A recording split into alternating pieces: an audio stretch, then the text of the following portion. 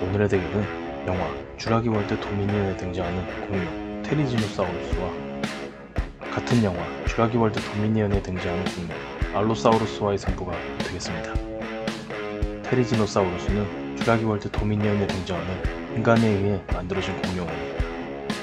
정확히 밝혀진 크기는 없지만 몸 길이가 9에서 12m이며 무게는 6톤에 달하고 아주 길고 뾰족한 발톱이 주요 공격 수단으로 치명상을 내기에 충분하며 특히 발톱이 최대 60cm 이상의 길이까지 자라 이빨에 버금가는 위력을 보이지 않을까 합니다.